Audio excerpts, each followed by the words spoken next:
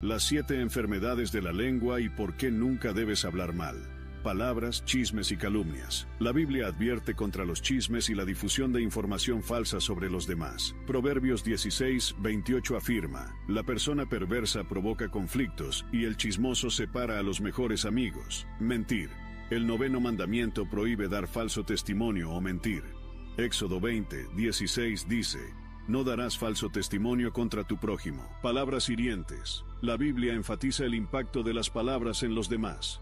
Proverbios 12, 18 señala, hay palabras que cortan como espada, pero la lengua del sabio sana. Maldecir. La Biblia desalienta el uso de maldiciones o lenguaje ofensivo. Santiago 3, 9, 10 resalta la incongruencia de que de la misma boca salgan bendición y maldición, jactancia y orgullo. Hablar con jactancia o expresiones de orgullo va en contra de las enseñanzas bíblicas. Proverbios 20.